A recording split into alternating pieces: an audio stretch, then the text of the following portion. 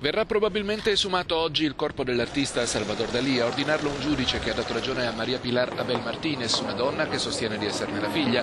L'artista è scomparso il 23 gennaio 1989. Le spoglie sono conservate nel basamento del Teatro Museo dedicato a Dalì nella città catalana di Figueres.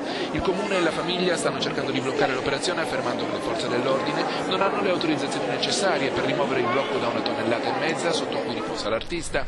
In realtà, al di là del desiderio della Martinez, la battaglia legale potrebbe scatenarsi attorno all'eredità e ai diritti che la donna potrebbe accampare. Maria Pilar Abel Martinez, nata nel 1956, sostiene che sua madre, allora domestica di una facoltosa famiglia di Figueres in vacanza a Cadaques, sulla Costa Brava, dove viveva il pittore, avrebbe avuto nell'estate del 1955 una relazione clandestina con Salvador Dalì.